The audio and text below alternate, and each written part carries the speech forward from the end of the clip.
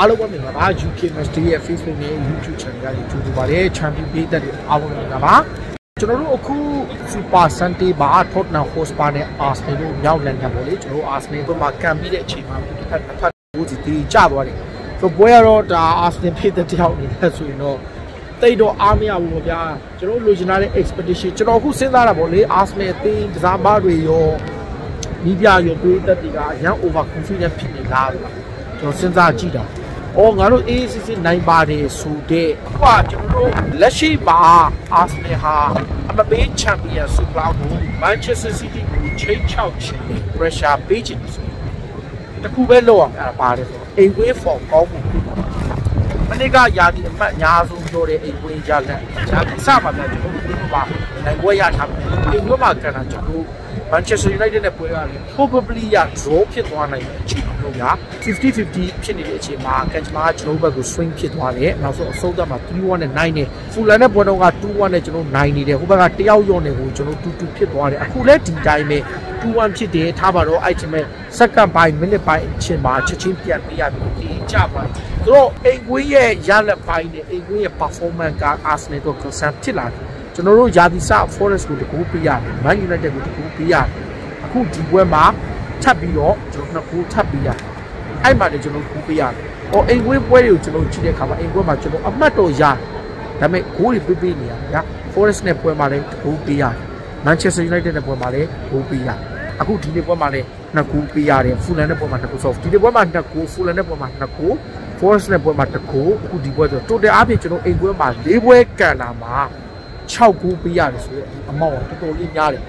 ချန်ပီယံဖြစ်ချင်ရင်ပဲဖြစ်ဖြစ်ချန်ပီယံဆုကိုစိန်ခေါ်ချင်ရင်ပဲဖြစ်ဖြစ်ကျွန်တော်ပြောချင်တာက Manchester City ကိုကြော်ပြီး Arsenal ချန်ပီယံဖြစ်ပါမယ်လို့မပြောဘူးဒါပေမဲ့ Manchester City ကိုအဓိကပြိုင်ဘက်တစ်သေးအနေနဲ့ရှိကြည့်အိမ်ဝင်း performance ကောင်းဖို့နဲ့အိမ်ဝင်းမှာအမှတ်မလျော့ဘူးကိုလွယ်လွယ်ကူမပြီးရဘူးပေးလိုက်ရတဲ့နှစ်ဂိုးလုံးကိုကြည့်ရင်ထားပါတော့ပထမဂိုးကတော့ဒါကို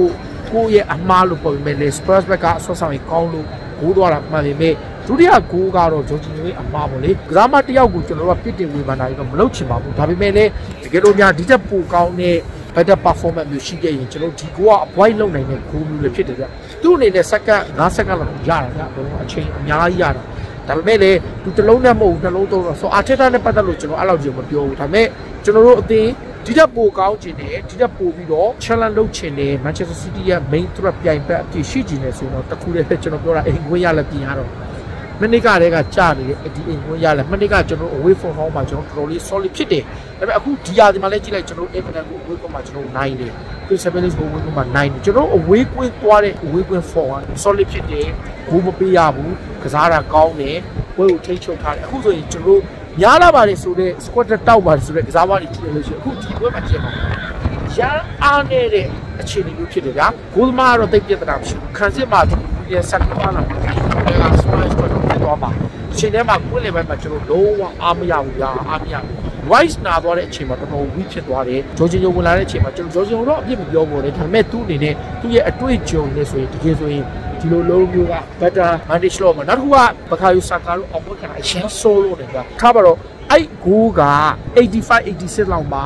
ဂိုးသွားတယ်ဆိုရင်တော့ okay ပေးသက်တယ်နော်အောင်ပွဲသွားခံတာကျွန်တော်လက်ခံလို့ရအခုက90ကျော်ပဲရှိသေးတယ်အောင်ပွဲကတော့ ကိုကတော့ကိုအသေးပေါ့ဗျာဒါပေမဲ့လည်း90ကျော်နဲ့အဲ့လိုကြီးအောင်ပွဲခံတော့ကျွန်တော်နည်းနည်းလေးတောင်ပါအောင်ပွဲခံဖို့အတွက် true busy ဖြစ်နေပြီတော့ဗျာချက်ချင်းကြီး concern မထွက်နိုင်လို့ချက်ချင်းပြန်ပေးလိုက်ရတဲ့အချက်ပေါ့လေဒါအာစနယ်အများကြီးလောက်ရမယ်အခုခံစစ်ဘာဖြစ်ဖြစ်ဆလီဘာတော်တော် class ရှိတဲ့ခံစစ်မှုတစ်ယောက်ဆိုတွေ့ရတဲ့ဒါပေမဲ့လည်းအခုလက်ရှိမှာ weak point ကတော့ဘာလဲဆိုအိမ်ဝဲ performance နဲ့အိမ်ဝဲအမှတ်လျော့တာဂိုးတွေလွယ်လွယ်ကူပေးရတဲ့အချက်ပေါ့လေတော့ Arsenal ပေးတဲ့တယောက်အနေနဲ့ကြည့်ရင်တော့ဒါဒီပွဲကတော့တိတ်ပြီးတော့သဘောမကျဘူးဗျာဒါပေမဲ့ Tottenham ခွက်တစ်ပေးရမယ်သူတို့ကစားတာကောင်းတယ်ဗျာအ မှန်တရားပဲလက်ခံလို့ဒီကစားတာကောင်းတယ်ကိုယ်လည်းမကျိုးတယ်နောက်ပစူးမနဲ့ဖဖဆာကိုယ်လည်းအာဆင်ကိုယ်လည်းထိချုပ်ထားတာကိုဘက်ကတော့ကိုသူမတိကြာတာထက်ဒါပေမဲ့ဂျေဆုရဲ့ဒုတိယအလုံး